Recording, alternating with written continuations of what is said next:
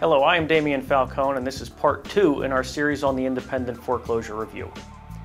In part one, we discussed the eligibility requirements for the program.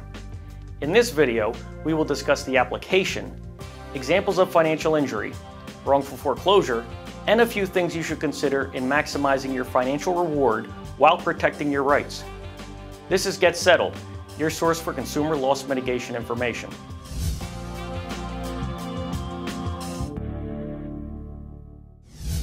Many eligible applicants are likely not to have received this application due to a change in address.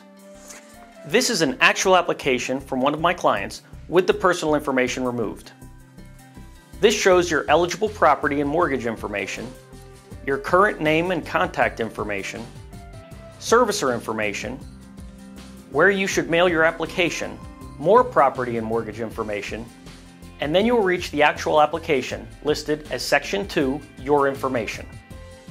There has been testimony provided to the U.S. Senate that warns against your information listed in Section 2 being used by lenders, as it was stated, to collect an otherwise uncollectible deficiency judgment. Homeowners are given no assurance that information they give to the consultants in Section 2 will not be used against them by the servicers and the testimony goes on to refer to it as a classic but sleazy bait and switch collection technique. Section 3, Background, is possibly the most important section of the application. This is where you identify the financial harm you've experienced. Although this application only lists six examples on page 1 of 5, there are 22 listed in the engagement letters from the OCC.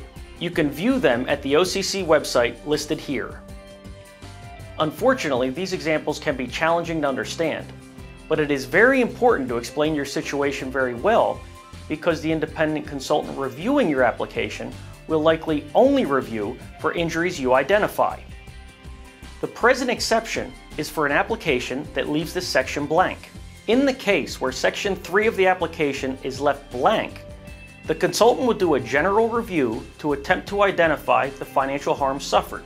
Section 4 Signature requires your name and date and the requirement it be mailed by July 31st, 2012 to the address listed below.